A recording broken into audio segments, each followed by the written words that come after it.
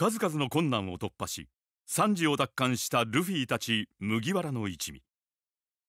ビッグマムの縄張りから脱出を試みるが敵の激しい追撃を振り切れずにいた。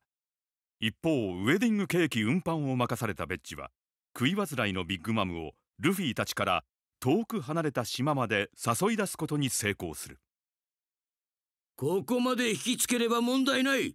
野郎ども撤退だ！あとは黒足とプリンのケーキの味次第。死ぬほど美味しい。これこれウェディングケーキ。ウェディングケーキの甘みに満足し正気を取り戻したビッグマム。直ちにルフィたちへのさらなる追撃を開始する。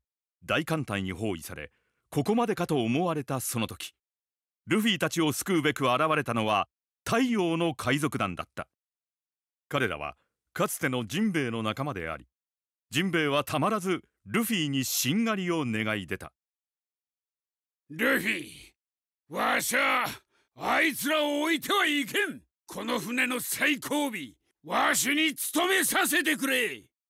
忘れんなジンベエお前の船長はもう俺だぞ。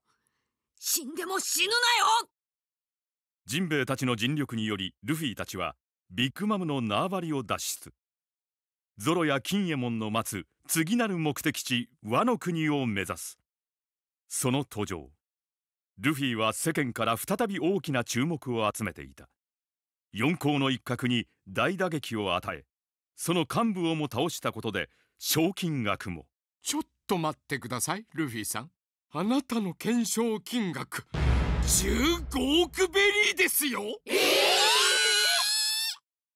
その頃ルフィを取り逃がしたビッグマムはワノ国を支配する百獣海賊団の長カイドウと密談していた。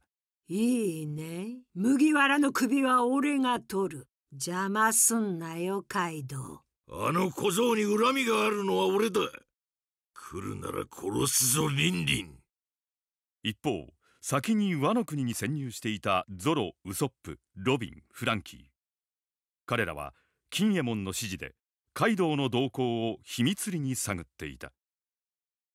だがゾロの持つ黒刀周水が紛失した和の国の国宝であったため窃盗犯とみなされたゾロは和の国全土で指名手配されてしまう。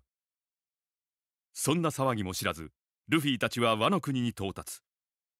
荒波に揉まれるうち仲間とはぐれてしまったルフィは一人和の国を探索する。